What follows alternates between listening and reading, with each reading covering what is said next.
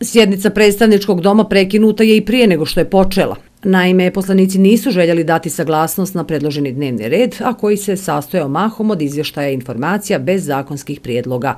I sam predsjedavajući smatra da danas nije bilo konstruktivnog rada. Dakle, danas smo vidjeli dosta politizacije i malo konstruktivnog rada. I sve što tražimo od zastupnika i političkih strana kada imaju konstruktivan odnos prema radu parlamentarne skupštine, konkretno predstavničkog doma. Pojedini poslanici smatruju da nemaju šta raditi na sjednicama kada savjet ministara ne obavlja svoj posao, ne upućuje nikakve prijedloge i nacrte u parlamentarnu proceduru.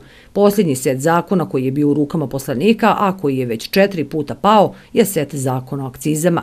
Ipak posljednji redovi poslaničkih klupa mogu se pohvaliti barem podnošenjem brojnih inicijativa. Više zakona po glavi poslanika ima zadnji red ove sale nego što ima vijeća ministara po glavi ministra. Poslanici su zatražili da se na dnevni red uvrsti informacija o radu savjeta ministara čime bi se preispitao rad ove institucije.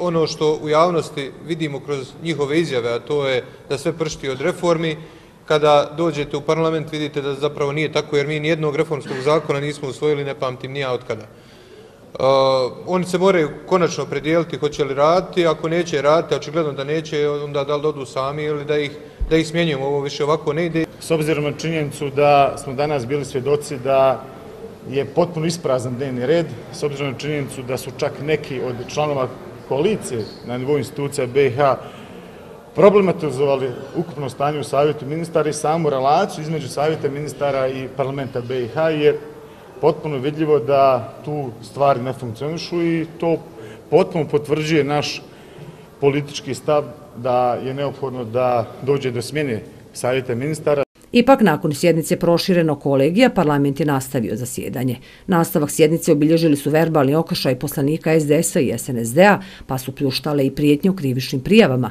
Nakon toga nastavljena je žustra rasprava i o stanju u javnom RTV sistemu Bosne i Hercegovine.